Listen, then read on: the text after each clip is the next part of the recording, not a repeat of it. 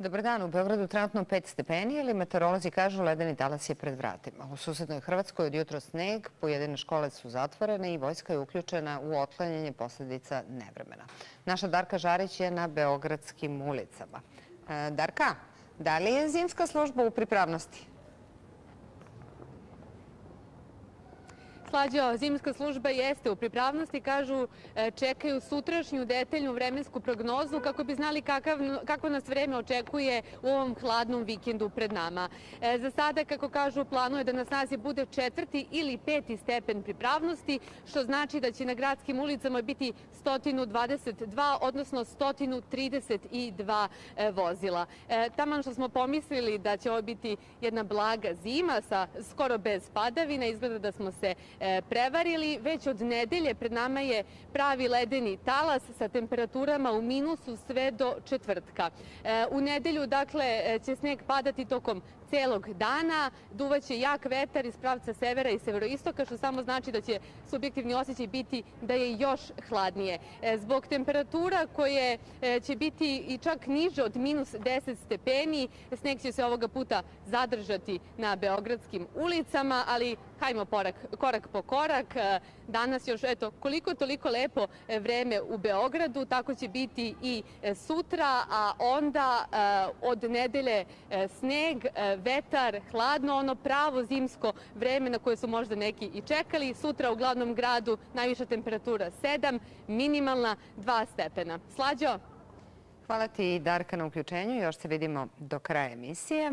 A hoće li niske temperature ponovo vratiti grip? Ostaje da se vidi. Danas smo istraživali koliko se često u postavljanju dijagnoza koriste brisevi. U skladu sa obaveštenjem na vratima Doma zdravlja Stari grad, pacijenti sa visokom temperaturom, osipom ili respiratornim simptomima javljaju se u sobu u prizemlju. Lekari ih ovde pregledaju kako se virusi ne bi širili. Pre nego što propišu antibiotike, doktori pacijentima daju upute za vađenje briseva, a uzorci se šalju u Gradski zavod za javno zdravlje.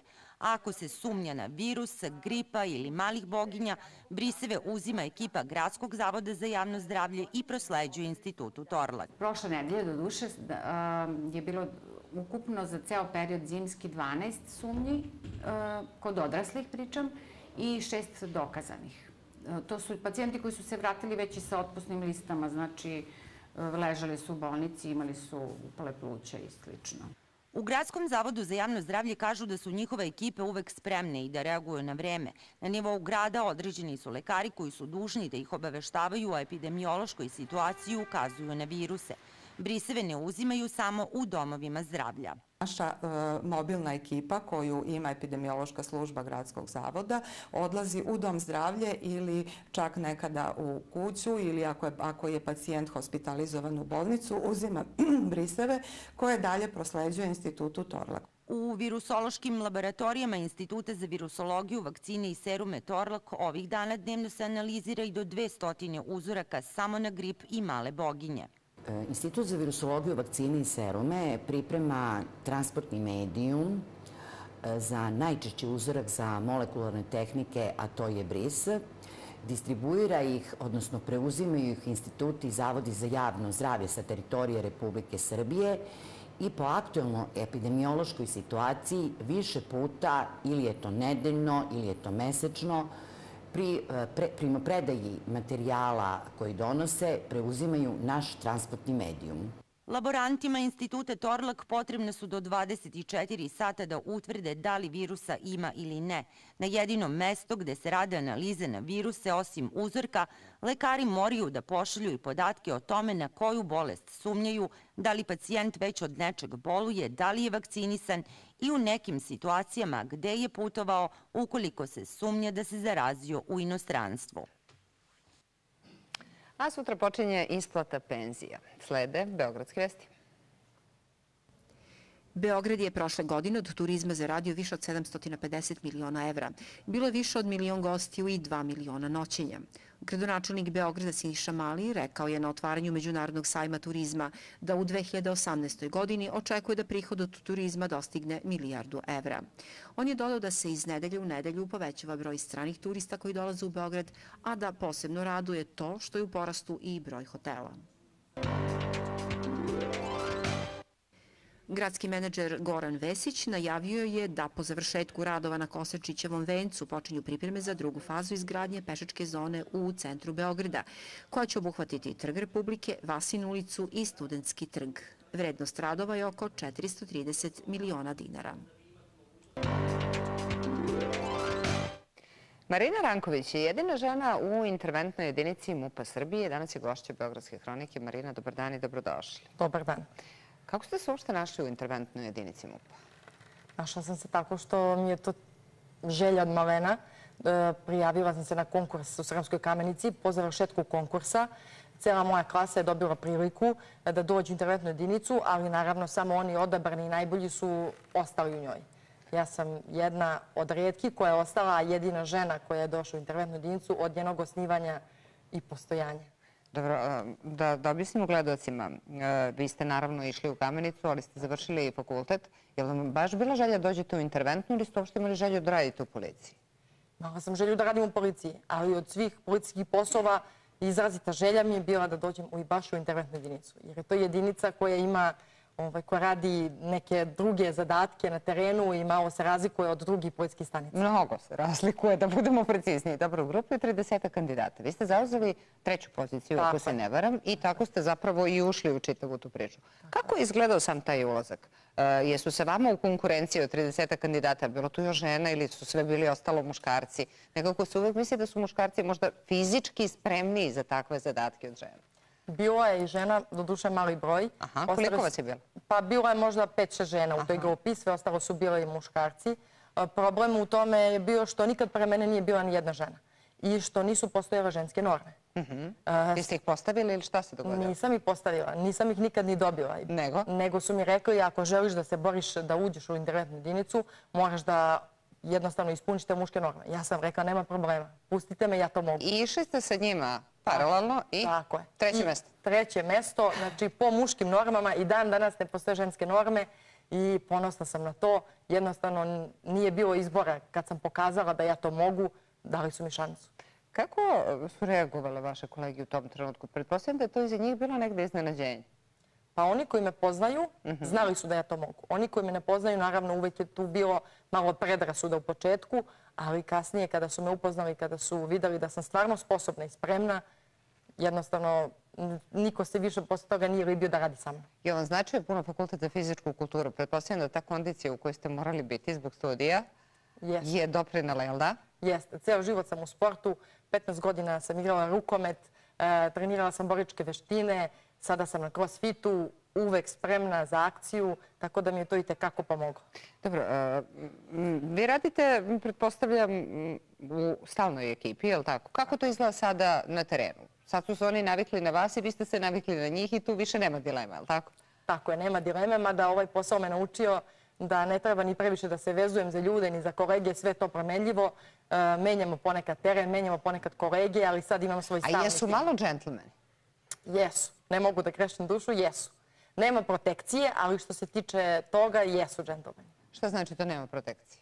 Nema protekcije. Ako idemo u neku akciju ili nešto, nema, nema uopšte dileme da li ću ja nešto da ponesem ili kolega. Nosimo ravnopravno ili, ili nosimo zajedno. Aha. Uopšte nema, nema da nema toga, e, nemoj ti, mi ćemo. Ne, nosimo svi sve zajedno, radimo svi sve zajedno, tako da po tom pitanju stvarno i ja to ne dozvoljam. Rekli ste mi da na posao dolazite u, u civilnoj garderobi, onda se presvučete, te tako ljudi ne mogu usput da vas pitaju ništa. A kad se recimo poznate sa nekim i kažete ja sam Marina Ranković i neko vas pita čime se bavite, vi kažete šta? E, na početku sam se šalila, ovaj, govorila sam da radim u, u biblioteci. Dobro. Onda su mi ljudi jesu, jesu vam verovali? Ne, ne, nisu mi verovali. A onda kada sam rekla gdje stvarno radim, dešavalo se čak i da prehinu konverzaciju sa mnom. Neće da razgovaraju. Zašto? Pa imaju neke predrasude. A, um, pitala sam vas, nećete mi zameriti, pretpostavljam da to smijem da vas pitam javno. Uh, udati ste? Udata sam. Dobro. I vaš suprug? Uh, suprug mi također radi u internetnoj jedinici. Uh -huh. Ove, isto smo Tamo ste se upoznali, ili tako? Uh, ne, ne. Nego? Znamo se od ranije, iz istog smo mesna. Ovaj, uh, zajedno smo krenuli na kurs, međutim, ovaj, nakon toga se radila ljubav i, ovaj, i kasnije sam se i udala za njega. Tako da zajedno radimo u istoj jedinici. Dobro, i to vam je, pretpostavljam, lakše. Uskoro bi trebalo da bude još žena kod vas u vašoj jedinici. Šta ćete im preneti kao vaše iskustvo, kao nešto što je možda dobro za njih jer vi ste to prošli, a njih to čeka? Pa posavjetovat ću ih svakako da ne odustaju od svog cilja, da će biti teško, da moraju kao žena u jedinici gde su samo muškarci. Mhm. E, to znači nije, nije samo ući u tu jedinicu. Svaki dan morate se dokazujete. To je izuzetno teško. E, ne postoji mesto, mesto za grešku. Drugačije se to posmatra i ocenjuje. Tako da ću ih svakako savjetovati da budu uporne, da ne odustaju od svojih snova i da to i da veruju sebe. To je najbitnije. Marina, hvala što ste bili danas gošće Beogradske hronike i pozdravite momke koji rade s vama. Hvala. Hvala vam.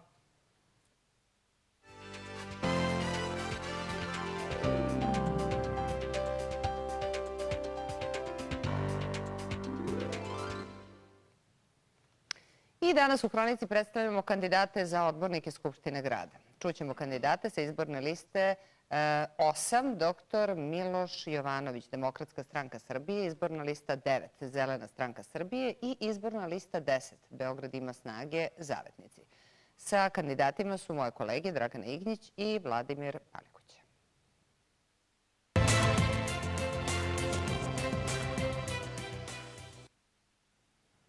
Na predstojećim izborima pod rednim brojem 8 je lista dr. Miloš Jovanović, Demokratska stranka Srbije.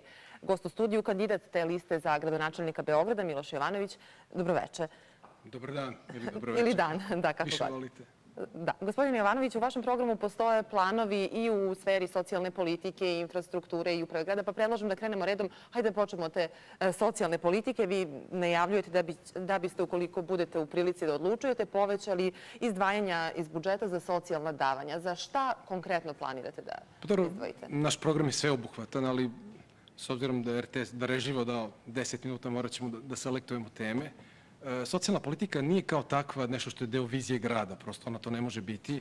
To je, nažalost, nužnost u jednoj zemlji koja ekonomski nije dovoljno jaka, pa je onda posljedica odsustva industrije, zaposlenosti veće i tako dakle, snažne ekonomije, jedna loša socijalna slika.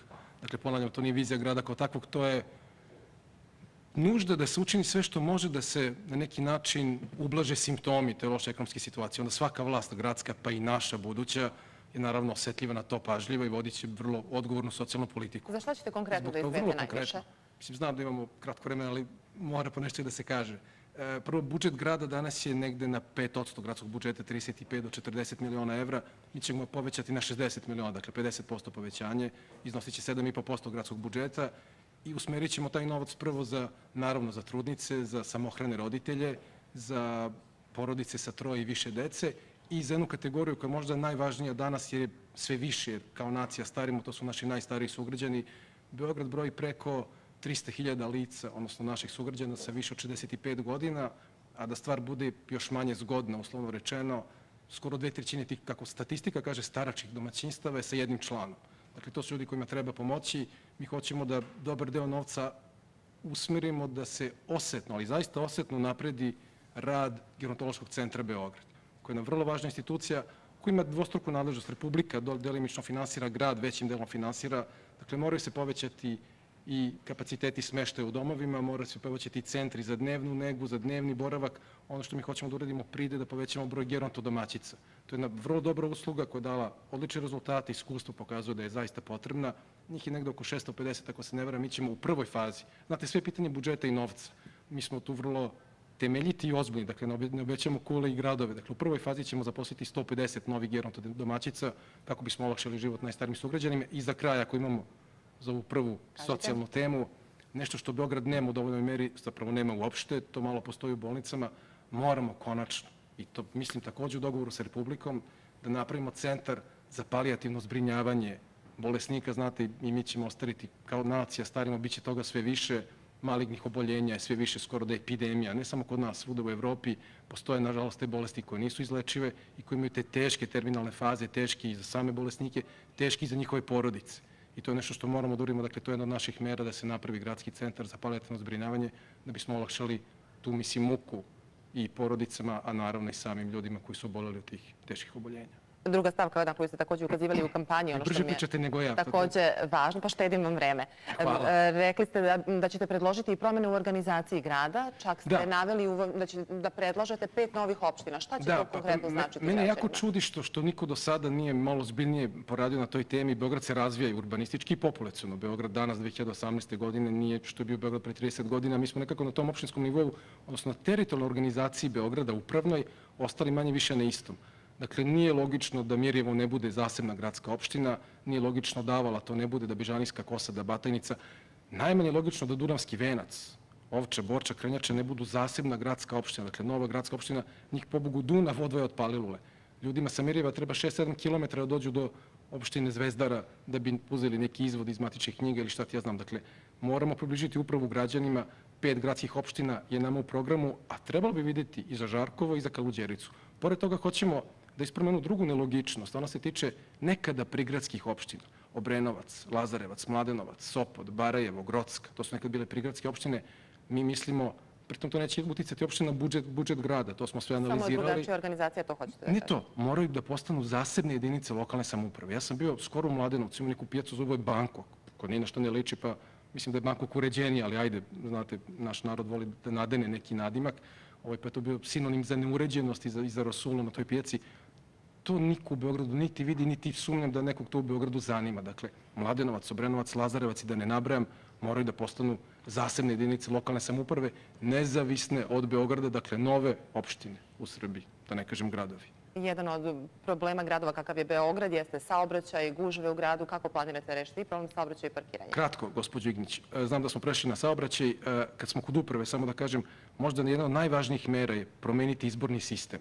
Ne može više. To treba uraditi na to nije Republici. samo pitanje grada, Nije. je- Jeste, ali gledajte, ako dobijem, a pozivam građane da glasaju za listu broj 8, dakle za, za mene, Miloša Jovanovića, ako dobijemo poverenje građana, uvek je lako organizovati referendum. Nijedna vlast republička neće moći da se ogluši na želju građana Beograda za početak, a kasnije ćemo to uraditi u Srbiji, da se promeni izborni sistem, da ljudi konačno glasaju po imenu i prezimenu i za odbornike i za gradonačelnika. A verujte mi, to je jedini lek. Ja po nešto o tome znam, doktor sam i političkih nauka, završio sam i pravni fakultet i radim na pravnom fakultetu. Jedini lek protiv partitokratije, dakle partijašenja, samim tim korupcije, odliva sredstava je promena izbornog sistema. Saobraćaj. Saobraćaj, hoćemo kratko saobraćaj, pa da pređemo na sledeće teme. Dakle, kako rešiti Rado bih gradio metro kao što mnogi obećavaju, ali za to mislim da nemamo ekonomsku snagu ni kao Hoćemo li u grad. jednoj rečenici saobraćaj pa da stignemo i o kulturi koju... Besplatni grad. Hoćemo. Ovo znate kao ploču kad ubrzamo ovaj, na, drugi broj obrata. Znači metro da, ali sada nema ekonomsku snagu. Ti koji obećavaju prosto nije realno obećanje.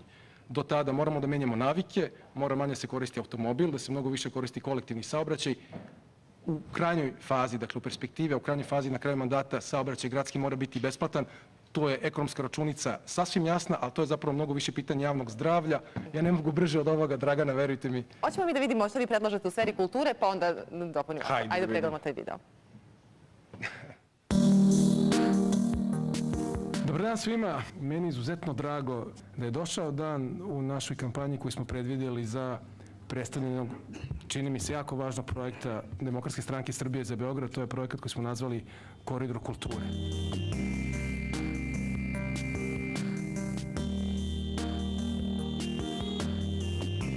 Nalazimo se danas na Ušću i preko puta je Kalemegdan. To su dve celine koje ćemo mi povezati jednim predivnim pešačkim mostom i objediniti dakle, kulturno-istorijsku celinu Kalemegdana sa svim sadržajima dve predivne crkve, paviljonom Cvjeto Zuzorić Vojnim muzejom i naravno ovu celinu Ušća, koja je zelena površina sa predivnim muzejem savremene umetnosti.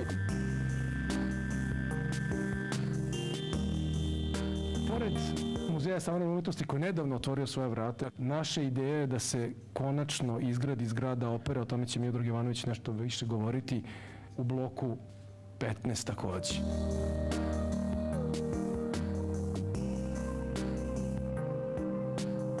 Moram da vam kažem da su operski umetnici moje kolege i ja smo duboko svesni potrebe da opera dobije svoju zgradu. E, Znam da postoji već ideja, pa čak i projekat, da se nova zgrada opere izgradi na Trgu Republike, odnosno pozorišnom trgu. Po mom skromnom laičkom mišljenju radi se o projektu koji je totalno anahron i neprimeren vremenu u kome živimo. Neko je duhovito primetio, ima i taj problem, kaže dajte da onda na trgu sagradimo i klinički centar i aerodrom i zasadimo jednu šljivu da svi Srbi stanu pod nju i rešili smo problem, definitivno, jeli. Kad se pređemo, dakle, desno bi bila opera, levo bi bio muzej savremene umetnosti, ostalo bi velika šetačka i pešačka zona. S druge strane imamo sve one sadržaje koje sam pominjao malo pre i to bi bilo zaista idealno mesto i za kulturu, i za promenade, i za turiste, i za građane ovog grada. Evo vaš predlog koridor kulture. Imate li još nešto da dodate u ovih još oko minut koliko nam je ostalo? sekundi koliko ostaje. Inače, znam da ste bili izloženi kritikama posljednjih par dana, vi kao RTS, ne vi lično, i ima šta ste kritiku, ali mi smo krivi kao opozicija što nismo bolje uslove obezbedili. Koridor kulture. Jako lep projekat, značajan projekat, povezat će Mušći Kalemegdan ne nekom sumanutom idejom o gondoli, već pešačkim mostom, pešačko-biciklističkim i želimo da izgradimo pored Muzeja savremene umetnosti, dakle takođe u bloku 15 operu, svaki grad zaslužuje da ima operu, to je stvar prestiža, to je stvar kulture, dakle objedinit ćemo jednu celinu koja je pešačka, koja ima puno kulturnih ustanova i na Kalemegdanu ih ima nekoliko i napravit ćemo jedan sjajan prostor za Beograđane, pa čak i za turiste. Ali imamo još malo vremena ili... Imate još nekoliko sekundi. Imate neku poruku osim ovog koridora kulture? Pa imamo, mislim, kažem, žao mi je što ovo 10 minuta imamo vrlo ozbiljan program, temeljit program. I u večernjem terminu pa jeste isto 10 minuta po minut koji će biti, čini mi se, još malo gore. Isti su uslovi za sve partije. Ne kritikujem vas, Dragana. Znamo se, radili smo druge emisije, kažem, to je u krajem slučaju naša odgovornost, ali promišljen program E, ko što uvijek DSS radio, kandidata koji mislim i onako će biti elegantno, prilično dobar. Vidimo se 4. marta, broj 8, DSS Miloš Ivanović. Hvala vam. Hvala vam. Bilo je to predstavljanje izborne liste broj 8.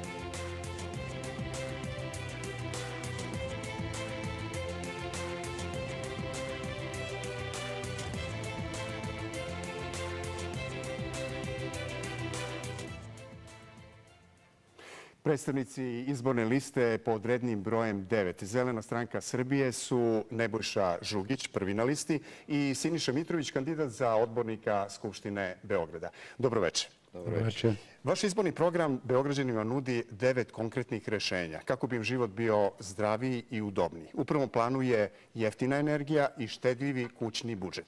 Pa evo, objasnite nam kako da investiramo u sobstveni dom, a da troškovi života budu manji. Evo ovako, znači ono što jeste e, ključna stvar u tom prvom, u toj našoj prvoj tačci jeste da e, se mi zalažemo za formiranje zelenog fonda. E, malo kasnije možemo pričati o tome, a iz tog zelenog fonda, znači možemo građanima omogućiti da zamene dotrajelu stolariju, da obnove fasade, da ugrade termopumpe za grejanje i hlađenje, da imaju kolektore za toplu vodu na krovovima i tako dalje i tako dalje. Ceo taj program služi dakle u svrhu toga da računi za struju i grejanje budu manji, s jedne strane, dakle građanima će ostati više sredstava za potrošnju, a s druge strane taj, e, e, taj naš sistem e, će dovesti do manje potrošnje, odnosno smanjenog uvoza energenata na nivou Republike i ostavljanja slobodnih sredstava koje će takođe moći da se opet vrate u krug i da se koriste za, za novo obnove zgrada i tako dalje i tako dalje. Generalno uštede energije je nešto za što se mi zalažemo. Malo pre ste pomenuli zeleni fond koji naravno pretpostavlja novac. Da li bi gradska kasa mogla da izdrži to? Da li bi bilo dovoljno novca u gradskoj kasi za sve to što vi kažete? Apsolutno, ukoliko se dobro na početku isplanira. Mi ovde govorimo o periodu od četiri godine. Dakle, zeleni fond se puni iz ekoloških taksi. Ukoliko taj fond, odnosno taj novac koristimo na transparentan način, svrsishodno, odnosno za namenu za koju je predviđen, i e, ne manje važno, ravnomerno raspoređeno na, na, na sve građane Beograda, uključujući dakle i centralne gradske opštine, tako i e, obodne opštine grada Beograda, dakle sredstava može, može biti dovoljno. Siriša, e, drugo konkretno rešenje govori o vazduhu bez zagađenja. Usko je vezano za gradski prevoz. Kako to objašnjavate? Beograd je optarećen kvalitetnom vazduha kao sve evropske metropole i to postaje karcinom njegovog razvoja, postaje faktor koji utiče na, na bezbednost i na kvalitet života. 5000 preranih smrti u Beoradu jesu faktor koji izaziva vazduh koji je opterećen u nekim delovima dana, u nekim delovima godine 14 puta veće opterećenja.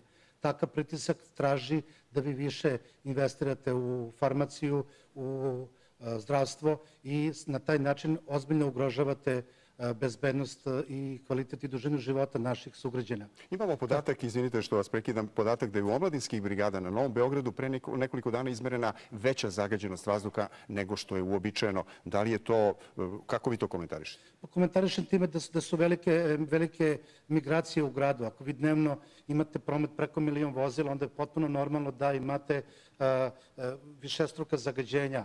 Ono što su važne, važni faktori, mobilnost građana treba omogućiti time što ćete jačati gradski prevoz, što on mora da bude preveden posebno na autobusi, na gas i na elektriku. Morate obezbediti dostupnost takvog, takvih usluga. Morate omogućiti da centar grada, bar u tom delu, bude, bude zaštićen od tog jednog pritiska. Morate voditi računa da spustite ono što jeste izvor svih problema, to je, to je prosječna starost vozila u, u, u državi koja je preko 15 godina. Sve su to opterećujući faktori i onaj narod kaže ako ne platite na mostu, platit ćete na Ćupri. Sva ta faktura zagađenosti vazduha se vrati kroz ono što jeste trošak održanja zdravlja i bezbednosti građana. Zanimljivo je da ste i za 8000 taksista u Beogradu ponudili konkretno rešenje. Apsolutno.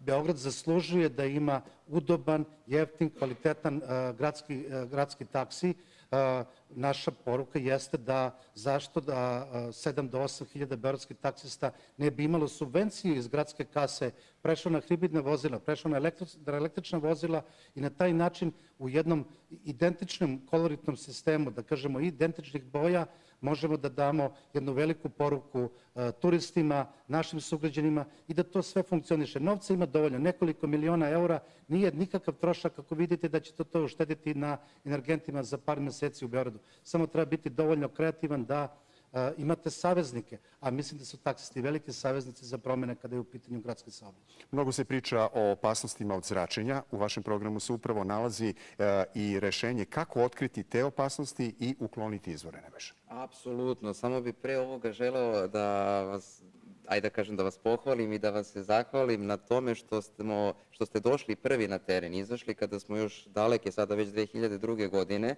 u Lazarevcu pokušavali da sprečimo i, odnosno napravili protest u selu Rudovci, dakle opštino Lazarevac. A to su buradi sa otrovnim materijama, ot, sećam se. Tako je, tako je, obratili, obrać, obraćali smo se svim medijima, po, pozivali ih da dođu, ali naravno vi ste bili, bili jedini i prvi koji su se odazvali i došli i, i hteli da razgovaraju o tome. Tako da eto, to sam teo da vas, da vas, da vas pohvalim u malu emisiju. Iz iskustva novinara sa terena uh, mogu da kažem kad ste nas već pohvalili uh, da upravo takvi događaji koji nose rizike u sebi i koji remete svakodnevni život Beograđana na bilo koji način su prioritet Beogradske hronike i o takvim događajima uvek izveštavamo prvi sa lica mesta. Hvala vam zbog toga. Evo da se vratimo vašem izbornom programu, znači kako otkriti opasnosti od zračenja?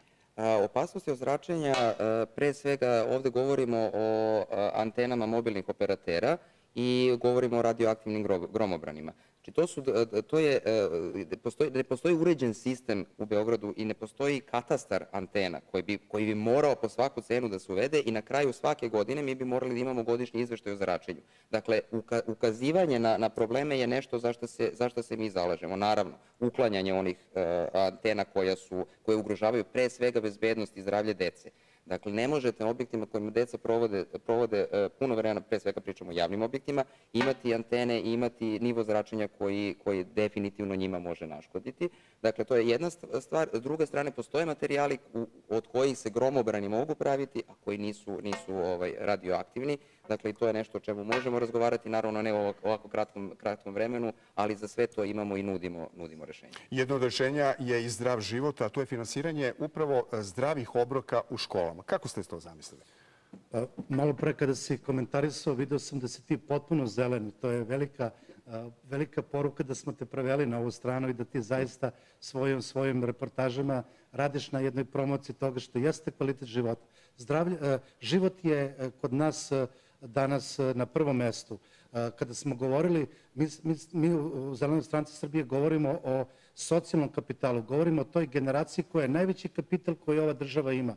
Ako utičemo zdravim obrocima na, i oni moraju biti dostupni za sve beogradske škole, za sve beogradske škole moraju imati besplatne obroke za školsku decu i srednjoškolsku iz razloga što je to, što je to podižete i telesnu i mentalnu i fizičku kondiciju koja je važna za opstanak te dece. Onda u, ovom trenutku mislimo da, to, da je to operacija koja bi mogla da zaživi odmah posle beogradskih izbora zato što je to dostupno i na taj način pokrećete i kompanije koje rade catering, pokrećete i Horeka sektor, a deca će biti zdrava, bezbedna i neće morati da trčkaraju po ulicima i po, da kažemo, nekakvim lokalitetima imaće mogućnost da dođe do e, vitaminski, e, e, energetski dobrog obroka koji bi zaista podigao mentalnu kondiciju, a kad imate dobre đake, kad imate blagodetnu decu, onda država ide napred i onda nemate više nasilja u porodici, nemate nasilja na ulici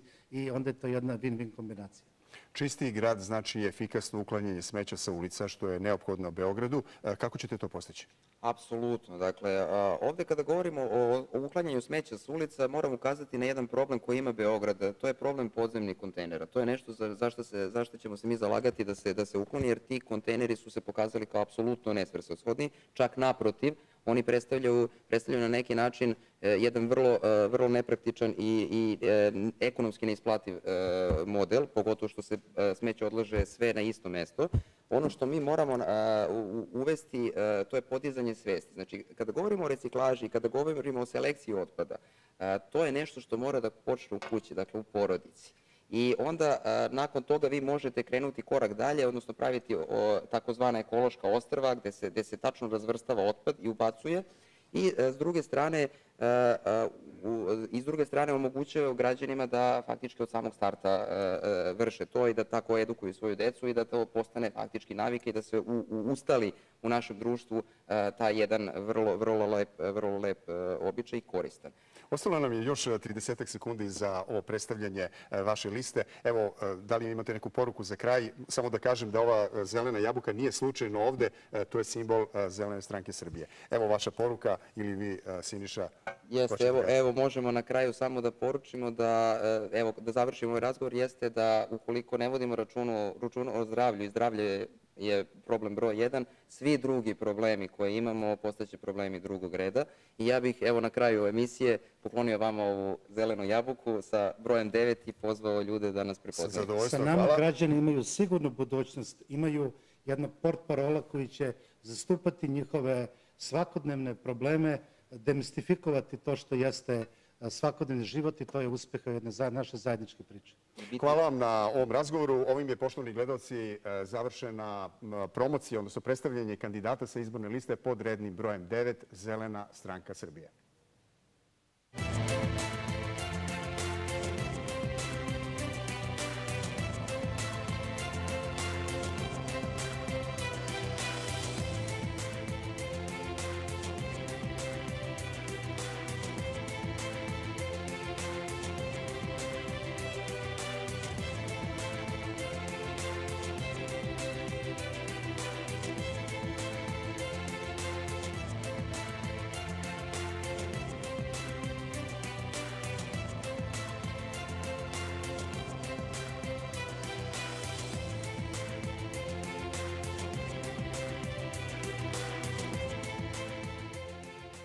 Izborna lista broj 10, Beograd ima snage zavetnici Milica Đurđević-Stamenkovski, kandidatkinja za gradonačelnicu te liste, sa nama u studiju. Dobroveče, dobrodošli. Dobroveče i hvala na pozivu. E, vi nekako u vašem programu obično su prvi plan ističe posticanje e, nataliteta i s druge strane vi ste, ono što ste danas naglasili posebno u kampanji jeste e, posticanje i pomoć malim privrednicima i posticanje proizvodnje smanjenje nezaposlenosti. Kako je to moguće uopšte rešiti na nivou jednog grada? Tako je. Što se tiče privrednog razvoja Beograda, mi smo jutros e, posetili mesto gde se nekada nalazila najveća fabrika za preradu voća, proizvodnju džemova, e, sokova, marmeladi, turšija. E, u pitanju su voćarske plantaže u Grodskoj koje su deo PKB-a.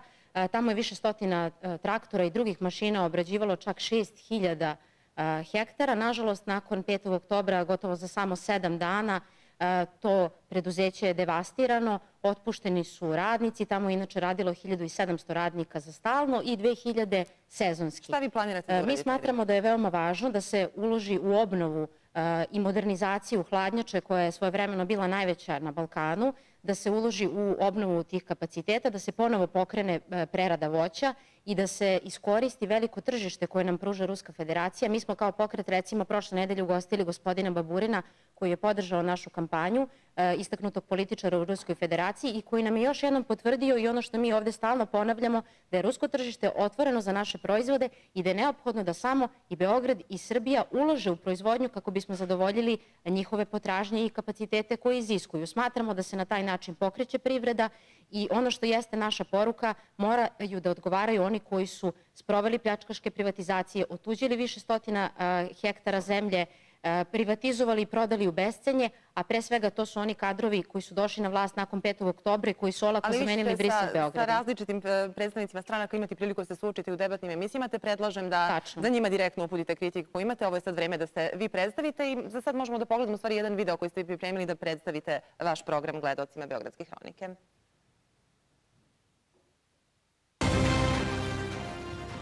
Dragi zavetnici, u našoj društvenoj komunikaciji kultura je obično nešto što dolazi na kraju. Gledajte dnevnik, otiđite bilo gde, uvijek ćete naći kulturu zajedno sa sportom i vremenskom prognozom. Zato smo ispali na ove grane na kojima smo danas. Pa smo mi zavetnici odlučili da kulturu stavimo na prvo mesto. Mi imamo plan kako da unapredimo turističku ponudu grada i da od Beograda napravimo ne samo centar jeftine zabave, već kulturno središte ovog dela Evrope.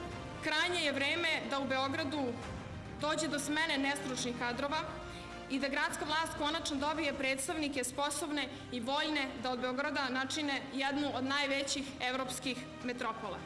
Beograd ima snage za nove ljude, snage za promene i zato vas sve pozivam 4. marta da zaokružite broj 10. Hvala vam, živeo Beograd i živela Srbija. Danas sam ovde kao član zavetnika, kao preduzetnik, kao vaš sugrađanin, a pre svega kao majka dvoje dece kojima želim da ostavim grad u kom će želeti da žive, a ne da odu iz njega.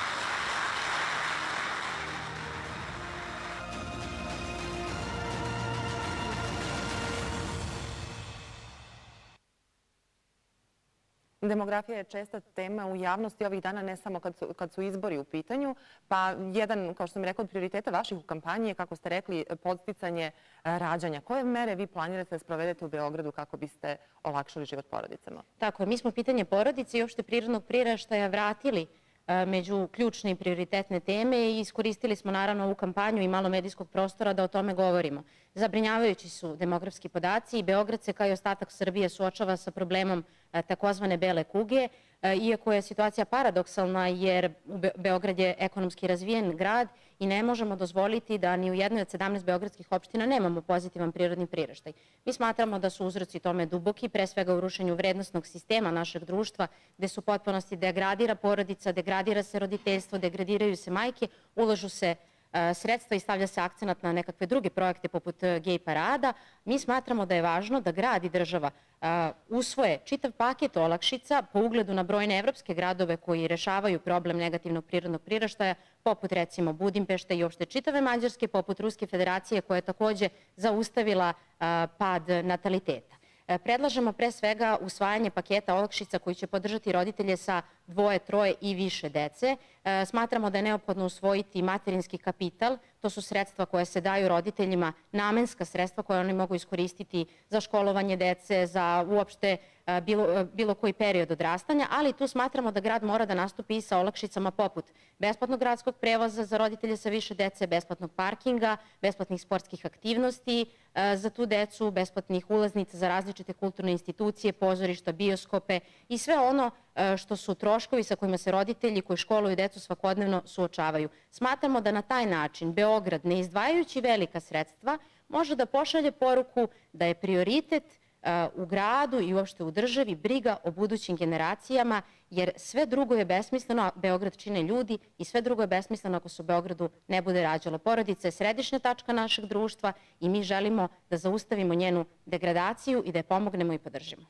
Osim toga, vi ste ukazali, rekli smo, privreda, natalitet, a s druge strane ste govorili o turizmu u kampanji. Mislite da je Beograd značajna turistička destinacija. Pa sad, kako planirate da i one prigradska naselja da se u njima podstakne razvoj turizma. Tako je, mi smo poseban akcent stavili na prigradska naselja kada je reč o njihovoj turističkoj ponudi, recimo na Ovču, na Beli potok sa značajnim istorijskim spomenicima. Bili smo pre nekoliko dana 50 km od centra grada u mestu Skela gde se nalazi čuveni primer iz 1813. godine kada je 50 devojaka zajedno se, da ne bi Turci se svetili nad njima, zajedno se uhvatila za ruke i skočila, utopila se u Savi, sačuvajući tada svoje dostojanstvo ljudsko, svoj obraz, svoj moral, o tome niko ne zna, a to jeste čak i jedna vrsta, koliko tragična, s druge strane, jedna vrsta turističke ponude i nešto što bi pokazivalo i budućim generacijama kako su naši preci ipak držali do svoje, do svoje časti i do vrednostnog sistema.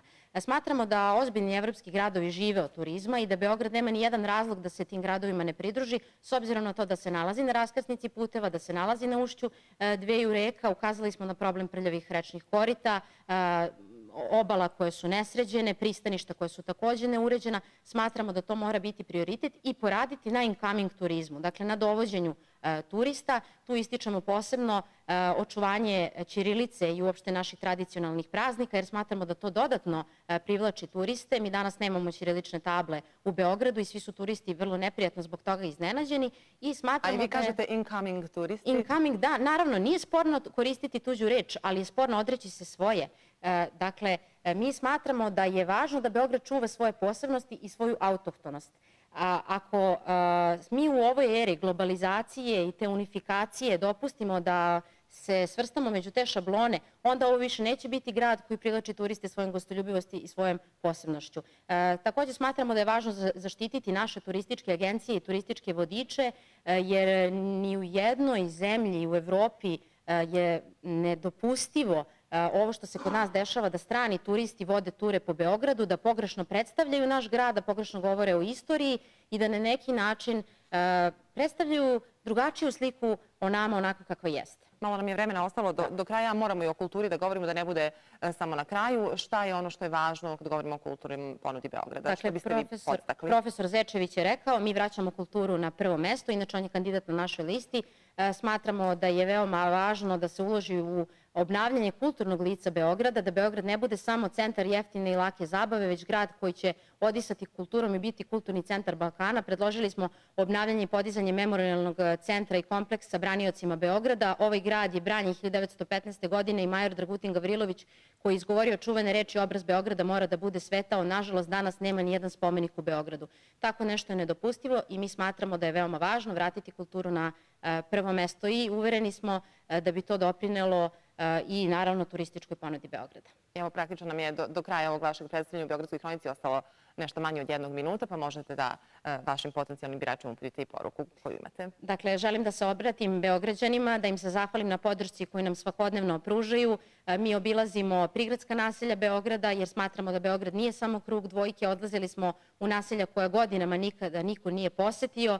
E, razgovaramo sa našim građanima, osluškujemo njihove probleme, pripremili smo plan kako da rešimo komunalna pitanja, infrastrukturna pitanja, kako da unapredimo Beograd, kako da razvijemo Beograd, kako da vratimo ljudima nadu i da pokažemo da Beograd ima snage. Naša lista pod rednim brojem 10 okupila je ugledne lekare, profesore, e, ekonomiste, ljude koji su mnogo dali Beogradu, a nikada nisu postavili pitanje šta je Beograd dao njima. Sa takvim ljudima mi nastupamo posle više decenijske e, korumpirane politike, posle pogrešnih kadrova, posle pogrešnih odluka i uvereni smo da ćemo 4. marta biti najveće iznenađenje na predstojećim izborima i pozivam Beograđane da glasaju za nas. Lista pod rednim brojem 10. Hvala vam Hvala na gostovanju. Čuli ste predstavljanje izborne liste broj 10.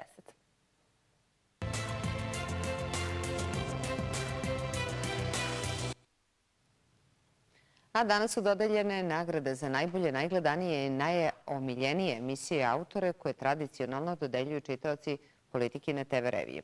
U šest od sedam kategorija pobedile su emisije RTS. Jutarnji program radiotelevizije Srbije je i ove godine dobio nagradu za najomiljeniju emisiju po glasovima čitalaca politikine TV revije. Prvi i najgledaniji jutarnji program u Srbiji već treću godinu za redom proglašen je omiljenom emisijom. Novinari i emisije RTS-a pobedili su u šest od sedam kategorija. To onako baš jedno veliko poštovanje e, i TV reviji, a pre svega e, autorima televizijskih emisija. Dnevnik radio televizije Srbije u 19.30 dobio je nagradu za najbolju informativnu emisiju. Kolega Jovan Memedović proglašen je omiljenim TV licem. U konkurenciji dokumentarnih emisija čitaoci kažu najbolje kvadratura kruga autora Branka Stankovića. Da su TV lica kao sav normalan svet pokazuje nam Tanja Petarnek, a njena emisija proglašena je najboljom zabavnom. Senke nad Balkanom bacile su senku na sve ostale serije. Čitaoci su je jednoglasno izabrali za omiljeno ostvarenje. A futboleri Partizana u Plzenju u Češkoj igraju odlučujuću utakmicu u 16. finala Ligi Evrope. Direktan prenos je na prvom programu RTS-a od 18.55. A kakva je atmosfera u gradu u kome će se igrati utakmica, o tome kolega Nenad Đurđević. Osim Prazdroj fabrike, inače među najstarijim pivarama u Evropi, u Plzanju se nalazi i gotska crkva Svetog Bartolomeja, katedrala izgrađena u 13. veku, kao i sinagoga, treća po veličini na svetu. Ovaj grad udaljen je oko stotinak kilometara od nemačke granice. Uticaj suseda postoji, ali Česi čuvaju svoju tradiciju, bar prema sportu. Prve strane lokalnih novina namenjene su uspehu čeških hokejaša koji će sutra na zimskim olimpijskim igrama nastupati u polufinalu. Najava utakmice Viktorija Partizan nalazi se tek na 20. strani sportske štampe. Predviđaju ofanzivnu igru lidera prvenstva Češke, ali se to očekuje i od Partizana. Mora da postigne barem gol. Zbog toga u timu šampiona Srbije nema pritiska, ali igrači osjećaju pozitivnu tremu. Veoma sam uzbuđen, srećan, jer je to jedna od najvažnijih utakmica možda u istoriji kluba. Možemo da napravimo nešto ogromno za nas, za ekipu, za klub. Mi ćemo dati sve od sebe da to napravimo. Nekoliko stotina navijača Partizana stiglo je iz Beograda i već je prošetalo ulicama Plzenja, ali uz pratnju ovdašnje policije. Naravno, oni su stigli u dobrom raspoloženju i u nameri da podrže Partizan, koji se bori da ostane jedini srpski predstavnik u UEFA-inim takmičenjima ove sezone. Utakmica Viktorija Partizan počinje u 19 sati uz direktan prenos na prvom programu radio televizije Srbije. Iz Plezanja za Beogradsku hroniku Nenad Đurović. A naša ekipa i dalje na gradskim ulicama, koleginica Darka Žarić. Darka, je li prošao popodnevni špic? Vidim da gužve ima pomalo na ulicama. Slađe u ovom trenutku gužva je jedino na Gazeli u smeru ka Nišu, a ovde gde se mi trenutno nalazimo na Brankovom mostu u smeru ka gradu, kao što možete da vidite nešto više vozila, ali uobičajena slika za Beograd za popodne. U suprotnom smeru kao što evo, verujem da sada možete da vidite tek po koje vozilo i tako je e, skoro u čitavom gradu. Upravi saobraćene policije kažu da nema zastoja, nema gužvi, prohodno i na sajmu, autokomandi, e, Slaviji, e, bilo je danas tek 30-ak saobraćenih nezgoda, vozilo se e, pažljivo, ipak jedna je napravila pometnju u bulevaru kralja e, Aleksandra, naime došlo je do sudara tri putnička vozila na tramvajskim šinama i zbog toga je bilo zastoja e, u tramvajskom saobraćaju. E, vozila su uklonjena, tramvaji su ponovo krenuli, ali ukoliko ste krenuli tim delom grada, sigurno ćete morati malo da pričekate na linije 6, 7 i 14. Slađo? Hvala ti, Darka, na uključenju. Došli smo do kraja današnje emisije Beogradske hronike. Sve informacije pratite na internet portalu, društvenim mrežama i YouTube kanalima RTS-a. Snimak ove emisije na kanalu BGD TV1. Ja vas pozdravljam, vidimo se sutra. Doviđenja.